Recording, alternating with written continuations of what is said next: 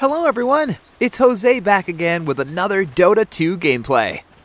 Today, we're going to watch the player, many considered as the most talented position 1 in Dota. And you guessed it right, it's Anathan Pham, mostly known as Ana. According to Liquipedia, this legend initially played Dota 2 in Australia, but made his decision to move from Melbourne to Shanghai to continue his pursuit in becoming a professional esports player. With the support of his family, Ana was able to achieve great things. He is the first Australian to win a Valve-sponsored event. He also became the first two Dota 2 championship winner after consecutively conquering the international 8 and 9.